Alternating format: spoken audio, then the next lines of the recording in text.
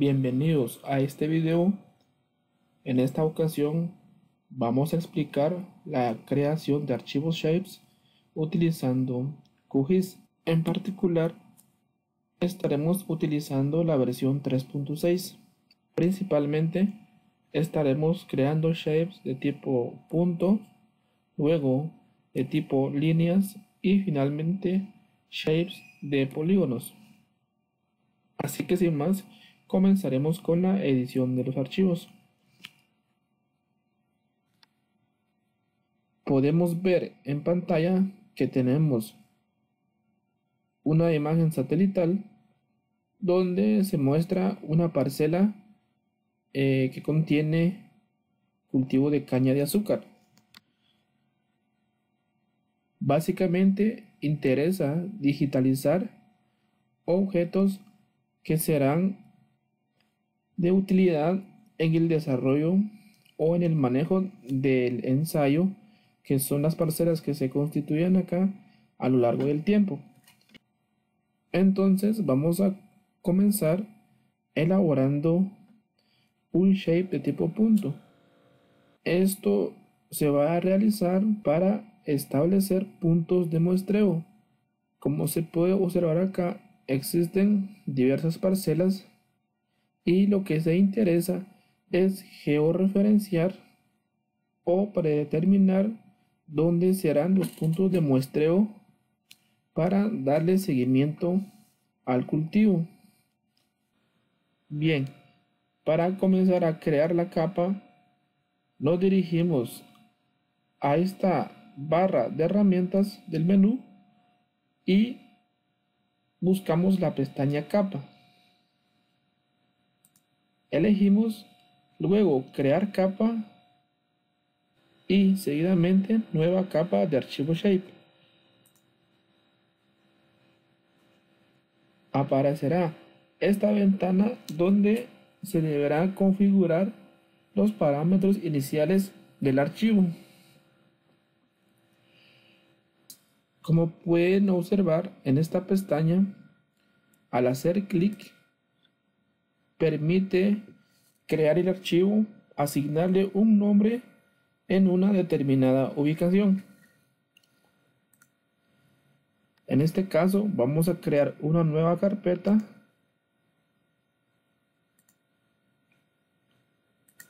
que será especialmente para el ejercicio.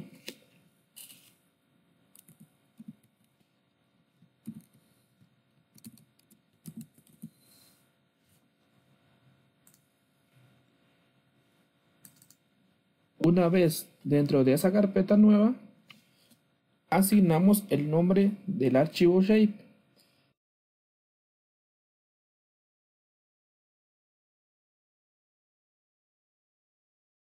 Observen acá que automáticamente el tipo de archivo que se va a guardar será uno de tipo shape y entonces elegimos la opción guardar.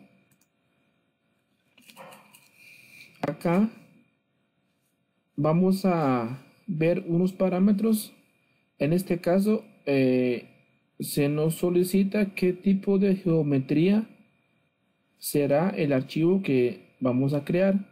En este caso como se indicó anteriormente será de tipo punto. Y aquí una opción de dimensiones adicionales. Sin embargo nos vamos a dirigir a esta opción para establecer el sistema de coordenadas del archivo que estamos creando. En este caso le vamos a asignar el sistema de coordenadas proyectado WGS84 UTM zona 15 norte. Observen acá que tenemos algunos parámetros de los campos que le vayamos a asignar a los objetos que contendrá el archivo que estamos creando. Sin embargo, por el momento no vamos a crear campos, sino que lo haremos mediante la tabla de atributos de los objetos que vayamos creando y eso lo veremos a continuación. Una vez elegidas todas las configuraciones, vamos a aceptar. Bien, entonces observen acá que el archivo shape del nombre puntos ya se ha creado. Para comenzar a colocar los puntos en las parcelas, elegimos el archivo que acabamos de crear haciendo un clic sobre el nombre de la capa y luego nos dirigimos a la barra de digitalización. Si no se observa en el entorno de QGIS, se puede seleccionar en este espacio haciendo un clic derecho y luego buscar la opción de digitalización. Como pueden observar aquí aparece un check que indica que la barra está habilitada. Entonces para comenzar a colocar los puntos nos dirigimos acá en el icono de conmutar edición. Recuerden tener seleccionada la capa que se va a editar. Si se dan cuenta, al elegir la opción conmutar edición, automáticamente sobre el icono de la capa de puntos se sobrepone el icono de un lápiz, lo que indica que esa capa actualmente está bajo edición. Bueno, luego de elegir conmutar edición, seleccionamos siempre dentro de la barra de herramientas de digitalización la opción añadir punto. Seleccionamos y como se había mencionado anteriormente, colocar los puntos permitirá establecer previamente los puntos donde posteriormente se realizará la toma de datos con la finalidad de darle seguimiento al cultivo durante determinado tiempo. Es decir, una vez georreferenciados los puntos, cada vez que se realice un muestreo, la persona sabrá buscar mediante aparatos GPS el lugar donde deberá dirigir el muestreo o las mediciones que sean pertinentes. Bien, comencemos entonces a establecer los puntos de muestreo. Entonces, al hacer clic izquierdo sobre algún espacio de las parcelas, automáticamente se creará un punto. Observemos, por ejemplo, si el primer punto de muestreo fuera en este caso el espacio que se está señalando, aparece esta ventana donde se podrá colocar un ID de los puntos que se vayan creando. Entonces, como este es el primer punto, le asignamos el número 1. Aceptar y observen que el primer punto ya se ha creado. Luego continuamos colocando los puntos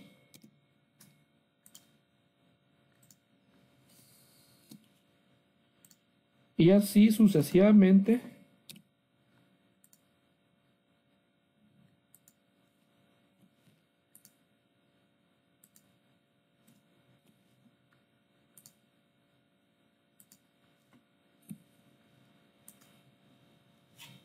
Bien, entonces ya hemos terminado de colocar todos los puntos. Y para guardar estos cambios nuevamente nos dirigimos a la opción de conmutar edición. Y aparece un mensaje si deseamos guardar los cambios en la capa de puntos. Elegimos guardar. Y observen que los puntos ya se han creado. Bien entonces ahora vamos a asignarle ciertos campos a esta capa. Para ello vamos acá, con el clic derecho elegimos abrir tabla de atributos y observen que el único campo que se ha creado es el ID correlativo de cada uno de los puntos que se fueron creando. Bien, entonces para crear un nuevo campo, aquí dentro de la tabla de atributos, elegimos nuevamente conmutar el modo edición y se activarán estas opciones. Vamos a elegir campo nuevo. Como cada punto hace referencia a una estación de muestreo donde se van a realizar o tomar diferentes mediciones.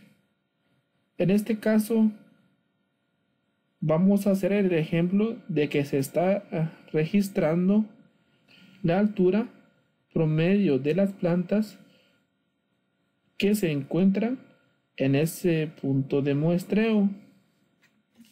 Entonces, vamos a crear el campo altura. Por ejemplo, si deseamos colocar un comentario, podría ser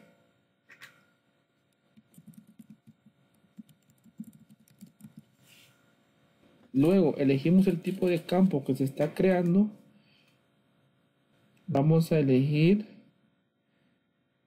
el tipo número decimal.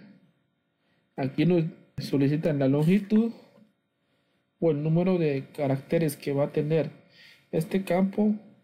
Vamos a colocarle 5. Y aquí una precisión de 2. Esto hace referencia al número de decimales que vamos a requerir en las mediciones o en el registro de la información. Vamos a aceptar. Y observen acá que por ahora no se ha cargado ninguna información más que únicamente se ha creado el campo altura. Entonces para asignar valores a cada uno de los puntos, vamos acá, con doble clic, por ejemplo podría ser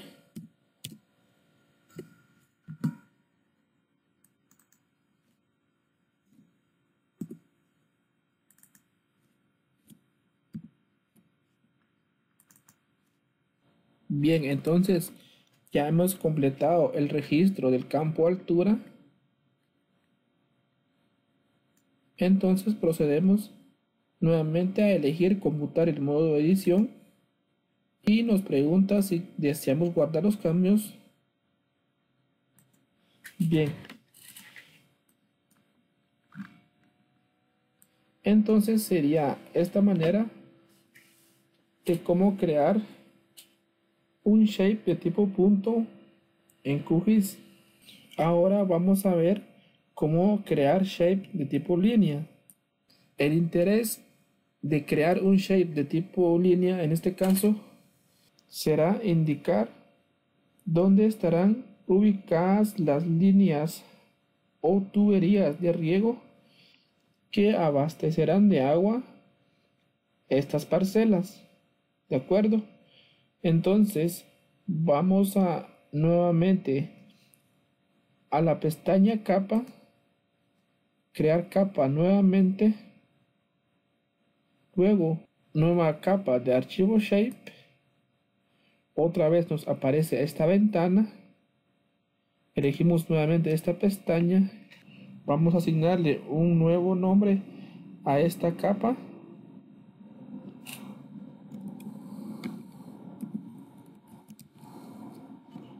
Guardamos. Y acá vamos a elegir el tipo de geometría. En este caso será línea asignamos nuevamente el sistema de coordenadas y nuevamente en este espacio de los campos lo vamos a dejar vacío por ahora. Vamos a aceptar. Bien entonces nuevamente elegimos la capa que vamos a editar. En este caso será el de líneas. Vamos nuevamente acá a conmutar edición. Si observan acá de acuerdo al tipo de geometría de la capa aparece la opción añadir línea. Elegimos la opción y esta línea será la principal.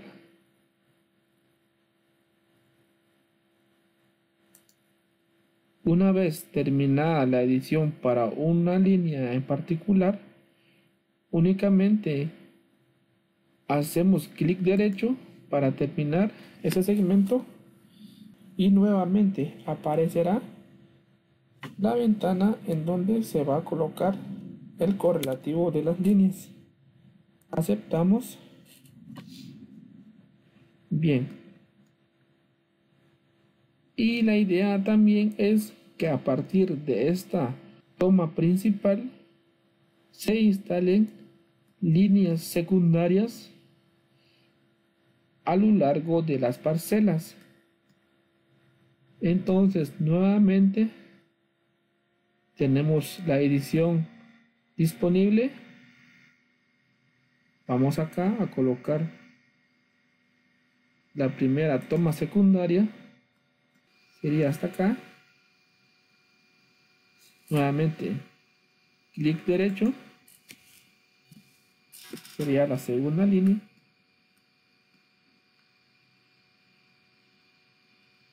vamos con la segunda línea secundaria.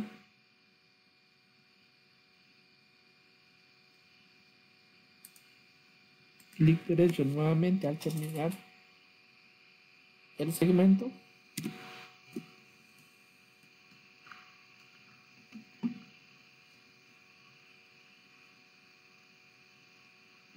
Y ahora estamos trazando la última línea secundaria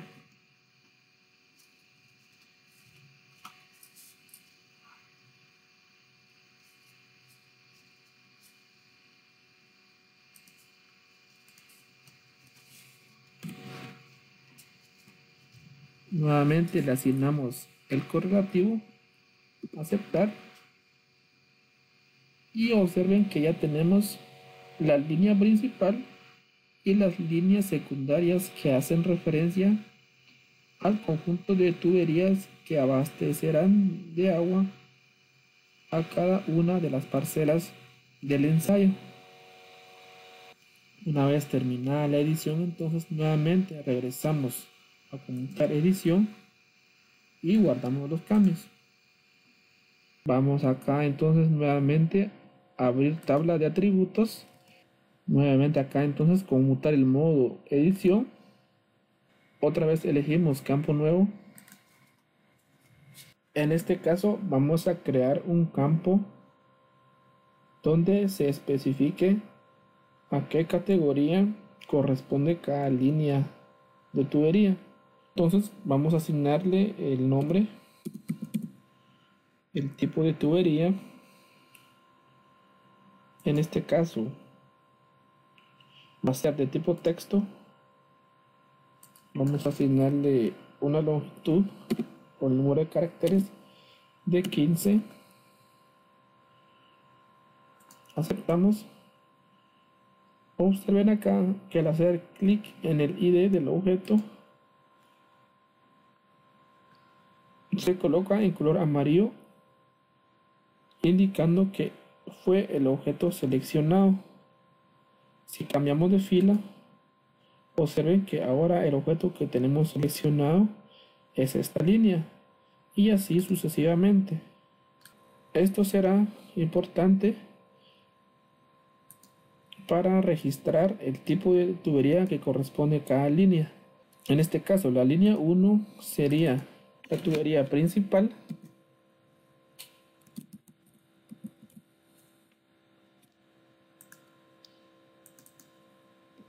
La línea 2 sería secundaria.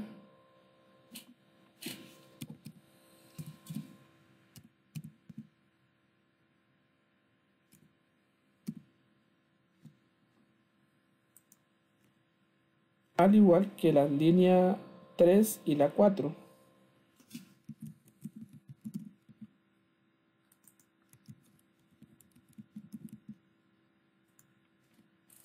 Bien, entonces ya hemos llenado el campo tipo.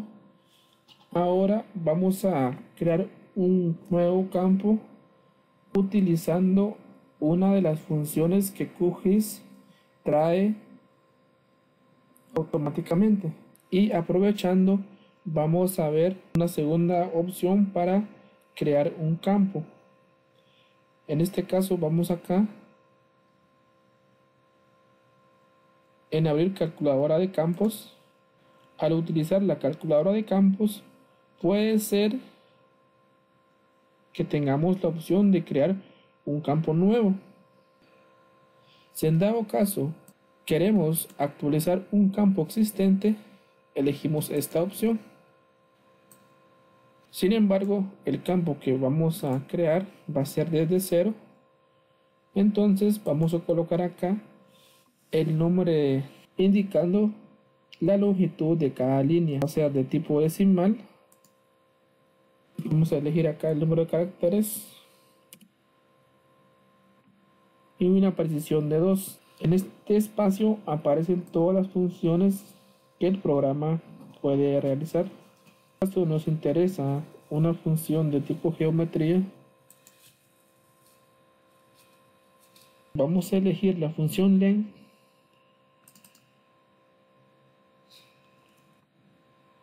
Si observan acá, tenemos una vista preliminar de la salida. Si aquí hemos hecho los pasos de forma correcta, obtendremos un resultado preliminar. En caso contrario, aparecería un mensaje de error, lo cual implica que debemos corregir los pasos realizados. Entonces procedemos a aceptar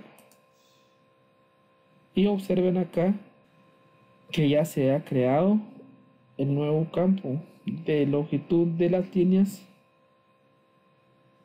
Si todo está correcto, detenemos la edición y guardamos. Esos serían los pasos a seguir para crear un shape de tipo línea. Entonces vamos a continuar viendo la creación de un shape de tipo polígono. Nuevamente nos dirigimos a la pestaña capa de la barra de herramientas del menú,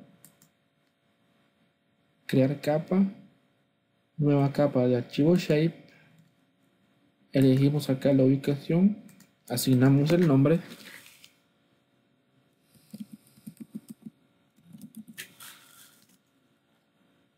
guardamos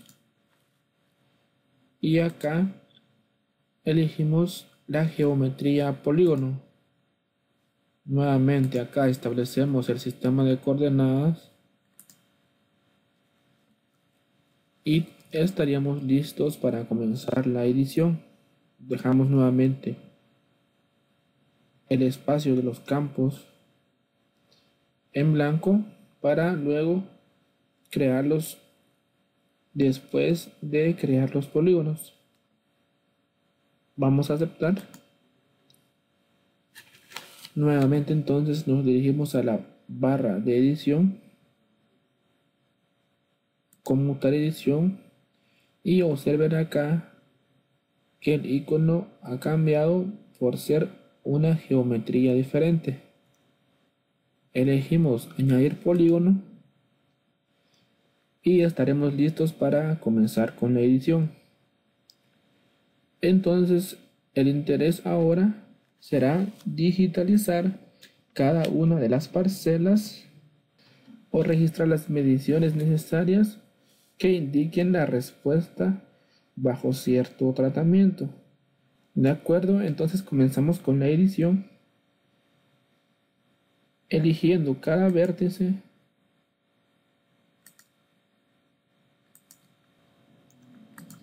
Entonces, al llegar al último vértice, hacemos un clic derecho y le colocamos el ID a este polígono. Y así sucesivamente vamos a ir digitalizando cada parcela que tenemos en pantalla. De acuerdo, entonces hemos culminado con la digitalización de las parcelas por lo que ahora entonces vamos a cerrar la edición guardamos ahora los objetos que hemos creado se han sobrepuesto por lo que será necesario ordenar y cambiar simbologías o la tonalidad de los colores para que se pueda visualizar de mejor manera. Por ejemplo, eh, la capa de polígonos la vamos a ordenar, vamos a moverla para abajo para que se sobreponga la capa de puntos. ¿De acuerdo?